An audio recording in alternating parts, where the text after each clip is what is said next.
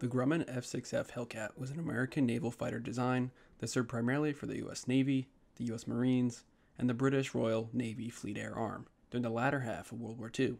Best known as a replacement for the venerable Grumman F-4F Wildcat and rival of the Mitsubishi A6M0, the Hellcat soon came into its own as a frontline fighter that helped push the U.S. Navy across the Pacific in late 1943 to the end of the war with Japan in September 1945. Pilots fell in love with the F-6F as it was easy to fly, maneuverable, and was durable enough to bring these pilots home safely. The Hellcat gained fame as a U.S. Navy ace maker in the Pacific theater and is among the legendary World War II fighters to this day. In this video, we will cover the origins of the aircraft and its different variations and modifications in use.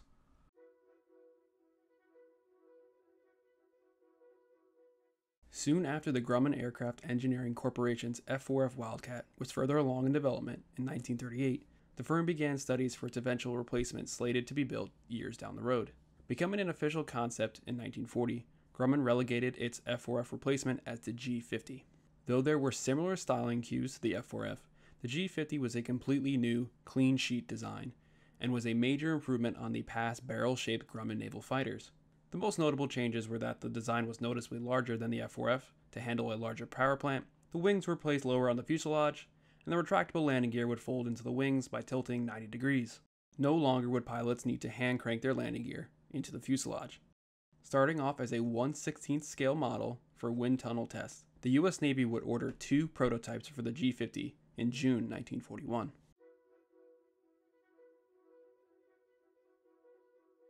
Less than a year after the prototype request from the US Navy, the first prototype ordered, officially known as the XF 6F 1, appeared from Grumman's hangars in early June 1942. The aircraft that rolled out was of an all metal, stressed skin, semi monocoque fuselage design and featured armor protection in mind for the pilot, engine, and oil cooler. The power plant for the new Grumman was a 1700 horsepower Wright R2610 Cyclone air cooled, two row, 14 cylinder radial engine. This engine was currently being used in Grumman's new torpedo bombers, the TBF Avenger. The prototypes would not be armed, but the design called for six Browning M2 50 caliber machine guns as the main armament, three in each wing, and a manual folding wing layout for aircraft carrier storage like the F4F4 Wildcat before it. Beneath the cockpit floor were three self-sealing fuel cells able to hold a combined 250 gallons of fuel. First test flown in late June 1942, the plane practically flew off the drawing board and was noted to have satisfactory flying characteristics. The second initial requested prototype, dubbed the XF6F2, was to be fitted with a turbocharged Wright R2616 radial engine. However, this prototype design was not built at the same time as the XF6F1. This prototype is discussed later in the video. Over in Europe, the British Royal Navy Fleet Air Arm were flying the export version of the F4F Wildcat, dubbed the Martlet, and were convinced the next line of Grumman fighters needed a much more powerful engine to combat German aircraft. This was also confirmed by US Navy pilots flying the F-4F Wildcat in the Pacific, facing Japanese aircraft in early 1942. Most concerningly, the Mitsubishi A6M0, after their first clash at the Battle of the Coral Sea on May 7 to 8, 1942. The Wildcat lacked in speed, rate of climb, and range when compared to its Japanese fighter counterparts. As one example, it was well documented that F4F3 ace and Medal of Honor recipient Edward Butch O'Hare visited Grumman to talk about his experience with the Wildcat and provided his two cents on improvements. Other changes included visibility updates, such as placing the seat higher in the cockpit and tilting the fuselage slightly down towards the cowling. With this important and real world input, the second prototype actually built was dubbed the XF6F3. This aircraft was fitted with the Pratt & Whitney R2810 double wasp air cooled, two row, 18 cylinder radial engine with a two stage mechanical supercharger, pushing out 2,000 horsepower. The airframe was strengthened to handle this new power plant. This engine would also be installed in the Hellcat service competitor, the Vought F4U Corsair, as well as the US Army's Republic P 47 Thunderbolt. The XF6F3 would be flown in late July 1942 and again proved satisfactory to requirements. Luckily, the only serious issues on both prototypes were tail flutter, which was quickly fixed by strengthening the rear fuselage. The Hellcat was ready for production.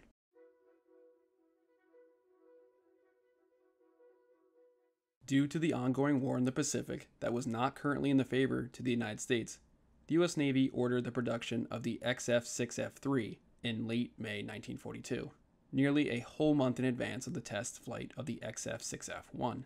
At this time, the U.S. Navy had recently fought in the Battle of the Coral Sea earlier in the month. The current outlook of the war was not as promising as one may have thought, so the normal bureaucracy of formal plane testing, then ordering, was bypassed. Also note the tide changing Battle of Midway did not occur yet. Luckily for the US Navy, the test flights for the, both the XF 6F 1 and 3 in June and July were promising, and the production model would be ready to be thrown into the fight off the drawing board. Grumman was well prepared for the eventual green light for the production of the F 6F Hellcat. All production of the F 4F Wildcat and the newly commissioned TBF Avenger were moved to the idling plants of General Motors Eastern Aircraft earlier in the year. Plant number 3, a new production space, was built at Grumman and Bethpage on Long Island, New York, and was completed in early June 1942, even before the XF6F1's first test flight. Now dubbed the F6F3, the first of these models rolled off the line in October 1942 and joined its first Navy squadron in February 1943. The F6F3's max speed was 375 miles per hour at 23,000 feet with a service ceiling of 38,000 feet. Range was around 1,090 miles at cruising altitude and settings. The aircraft soon featured a center stores pylon under the fuselage, which was able to hold the often fitted 150 gallon external drop tank to give the Hellcat extra range. With this external combat drop tank, which was also used for ferrying aircraft from the factory, range increased to 1,590 miles. As one of Grumman's main design principles were to over engineer their aircraft, and bring the pilots home safely, the Hellcats were equipped with a curved armored windscreen and more than 200 pounds of armor for the pilot and for the oil tank and oil cooler. Some slight changes from the prototype included the removal of the propeller spinner, a new propeller, the exhaust channels were reduced, and the landing gear doors were reduced from the original bulky design. As for the propeller, a new 13 foot, 1 inch diameter Hamilton Standard full feathering hydromatic propeller replaced the Curtiss electric propeller. The production model included a Mark 8 reflector gun sight and six Browning M2 50 caliber machine guns staggered in the wings, with a total of 2,400 rounds, 400 per gun. Late production F6F3s featured an upgraded power plant, the Pratt & Whitney R2810W radial engine with a water methanol boost that provided 10% more power for short periods of time. The water tank was fitted behind the cockpit and was filled from the spine. With this emergency power, the engine was rated at 2200 horsepower. On these late production models, the cowling was tighter around the engine, and the exhaust stack bulges were removed on each side, and both lower cowl flaps were eliminated. As for additional ordnance, the aircraft was equipped with six stub pylons for zero length 5 inch rockets, stores pylons, one under each wing and under the fuselage, which was already available to hold the extra drop tank, were able to hold a thousand pounds each of bombs. A total of 4,402 F6F3s were produced and ended production in spring 1944. This includes all subvariants and those in foreign use.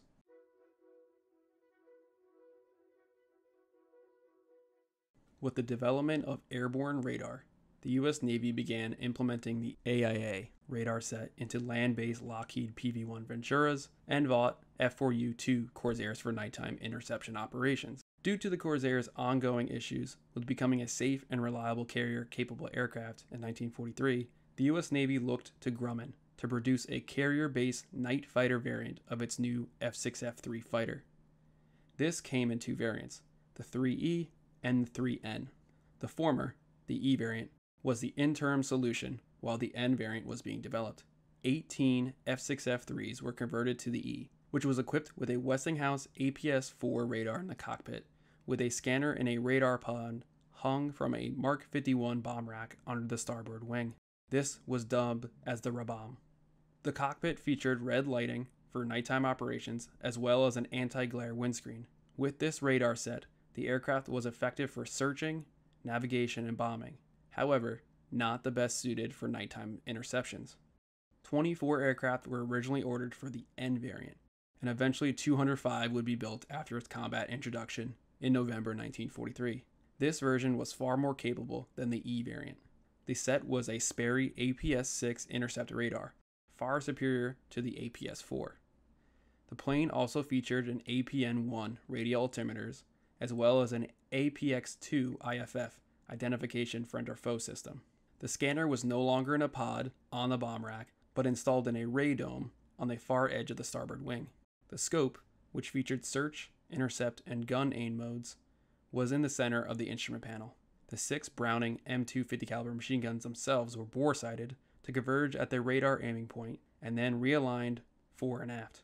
Pilots were concerned that the radome would alter flight performance, which would actually decrease top speed by 20 miles per hour when installed. The Hellcat would soon become the top American night fighter during the war.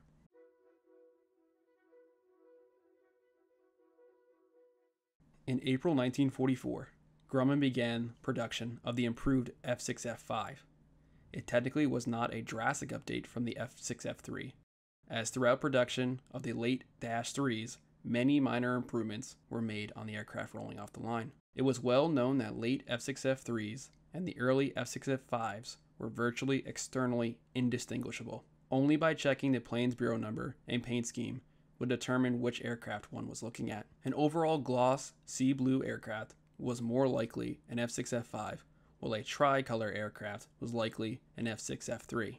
The F6F5 Hellcat featured many of the improvements and changes of late model F6F3s and more. The power plant stayed consistent with the late F6F3, a Pratt & Whitney R2800 10W water injected radial. With this engine, top speed reached nearly 400 miles per hour and rate of climb increased. A servo and fixed trim tab were both installed on ailerons, and the tail section was strengthened. As for the cockpit, 30 pounds of additional armor reinforced the pilot and included a flat armored glass windscreen rather than the curved front windscreen of the F6F3. The canopy was also simplified. The first 1,000 F6F5s maintained the aft window on each side behind the canopy, like on the F6F3s before it. However, any aircraft afterward omitted these windows, allowing any crews to visually determine an F6F3 and F6F5. The F6F5 was able to hold the hanging ordnance and fuel as the F6F3.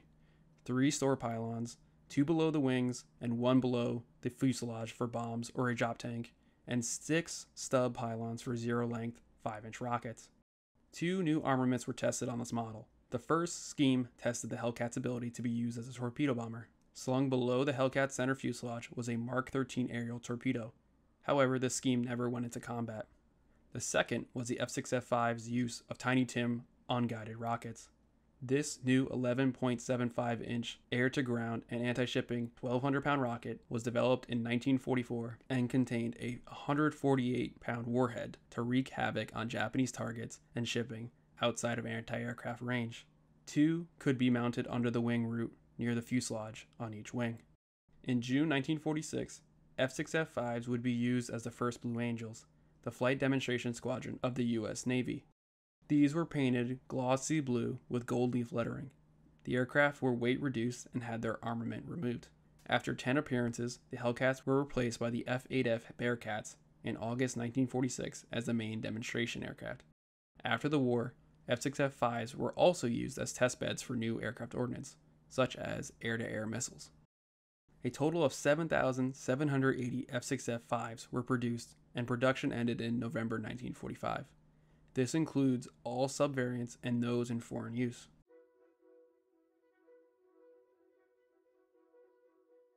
With the success of the night fighter variants of the F6F3, an unspecified number of F6F5s were converted similarly to the F6F3E.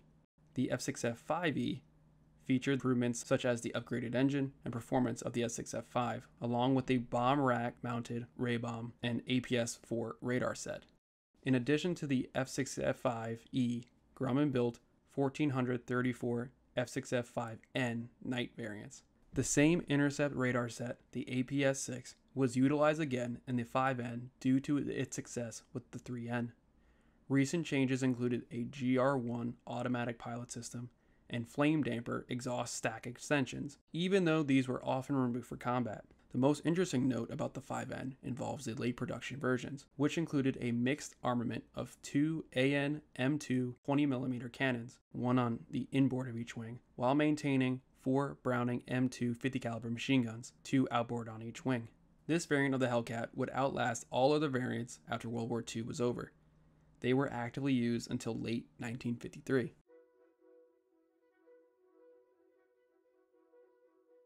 With the almost overnight access of military equipment and aircraft after the end of World War II in September 1945, and with the advent of jet aircraft, the soon antiquated F 6F 3 and F 6F 5s were tested as drone aircraft, drone directing aircraft, or utility tugs. These drone aircraft, mainly F 6F 5Ks and 5Ds, the director aircraft, were the last known combat use of the Hellcat for the US Navy. Pilotless and radio controlled, the drones were essentially early smart bombs and acted as air to ground missiles. In combat, 5Ks would be equipped with bombs, launched from aircraft carriers, and attacked installations during the Korean War.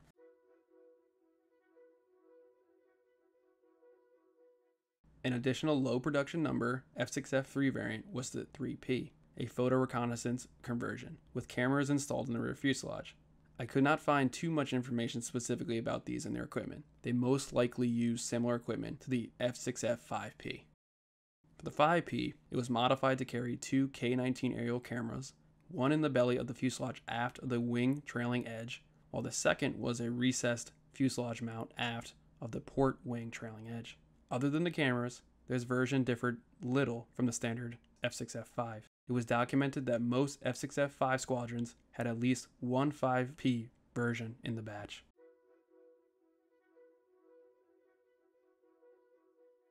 Looking back at the two initial prototype orders, the XF6F1 and XF6F2, the two was not built at the same time as the XF6F1 and the XF6F3 that replaced it. After production began for the F6F3, Grumman tested a new power plant in an F6F3 pulled from production, now called the XF6F2. This new power plant, a Wright R 2600 16 radial engine, was combined with a Birmann turbo supercharger that was first test flown in 1943. Not proving to be satisfactory, the aircraft was re-engined with a turbocharged Pratt & Whitney R2821 and was mated with a Hamilton standard four-bladed propeller.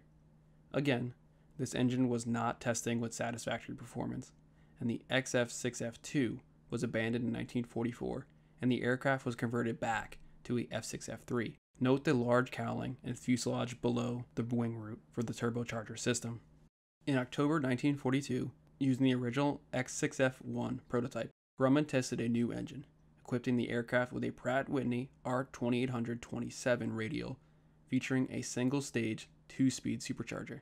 An additional change to this aircraft was the removal of the six Browning M250 caliber machine guns for four AN M2 20mm cannons. This prototype was successfully tested, however, never put into production.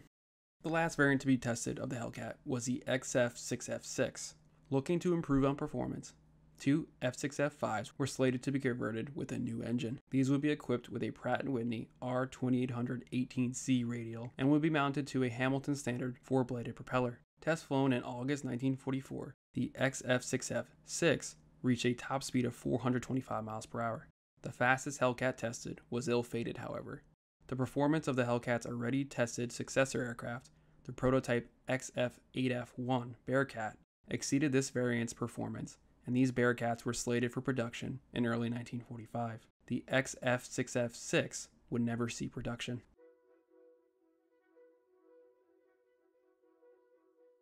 A number of unbuilt versions of the F6F Hellcat never made it off the drawing board into the sky. Here are a few.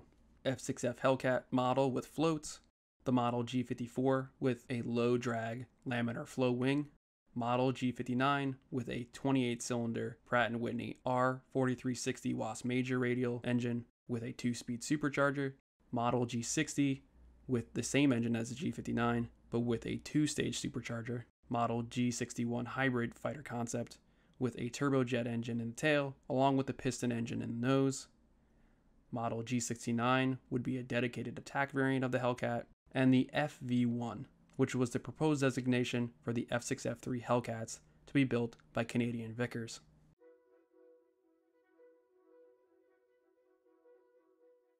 As part of the 1942 Lend Lease Agreement terms with the British, around 10% of all F6F Hellcat production was allocated to the Royal Navy Fleet Air Arm. Initially referred to as the Gannet, and then later switched back to the Hellcat, a total of 1,182 were sent overseas to the British. For the main variants, the count goes as follows 252 were F6F3s, known as the Hellcat F1 or Mark 1, and 930 were F6F5s, known as the Hellcat F2s or the Mark 2s. The F was a designation used for fighter. Little change from the US Navy production variants of the Hellcats, but an unspecified number were fitted with four extended launch rails under each wing, for a total of eight, to carry British 60 pounder unguided rockets. As part of the Hellcat F2 batch, around 80 or so were F6F5Ns, known as the Hellcat NF2s. Additional Hellcat F2s were converted by Blackburn aircraft for photo reconnaissance, with three cameras in the rear fuselage. Some were still armed, where others had their guns omitted. The designations were Hellcat PR2, Photo Reconnaissance Mark II, if they were unarmed, and Hellcat FR2, Fighter Reconnaissance Mark II, if they maintained their 650 caliber guns. The British would receive their first Hellcats in 1943.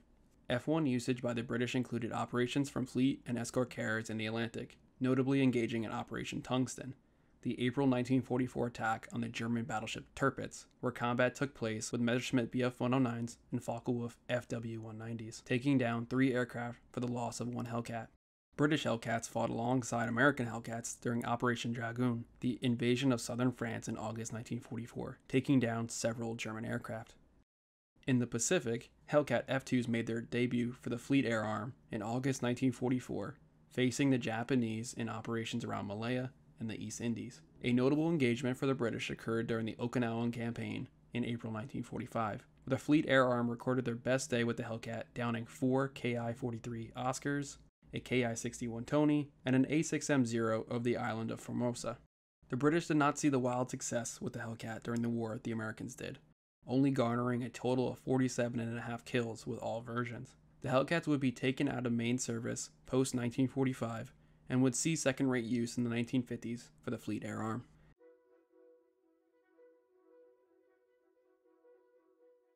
A handful of countries acquired Hellcats after the end of World War II. France acquired more than 100 F 6 F5s for their Navy and Air Force. These were famously used in the First Indochina War, with the Air Force retiring Hellcats from service from 1950 to 1952, while the Navy retired them by 1955.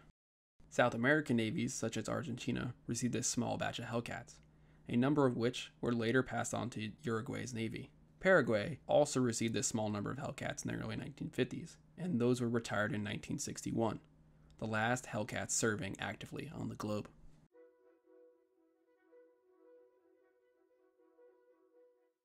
The Grumman F6F Hellcat was developed and put into production right as America's industrial might went into full gear. With a little more than two years of production starting in late 1942, more than 12,000 were produced to combat the Axis powers. As the staple carrier fighter aircraft on the ever increasing number of fleet, light, and escort carriers pushing westward towards Japan in late 1943, the Hellcats were the striking force that helped make this all possible. Thanks to America's extensive pilot training program, overwhelming combat aircraft numbers, and Japan's lack of proper pilot training programs from 1943 on, the F-6F Hellcat obtained a 19 to 1 kill-loss ratio in the Pacific. This was one, if not the best kill-loss ratio of any aircraft that served in the Pacific during World War II. With more than 5,000 Japanese aerial kills, the Zero Killer, as the Hellcat was dubbed by its pilots, is considered one of the most successful aircraft in the U.S. Navy and Marine Corps history. As noted, the plane saw extensive use after the war, serving in the U.S. Navy Blue Angels, as drones during the Korean War, combat aircraft for the French during the First Indochina War, and naval air power for a number of South American countries into the 1960s. To this day, the F 6F Hellcat is among the legendary aircraft of World War II. Thanks for watching. Let me know in the comments what aircraft you would like to see covered next.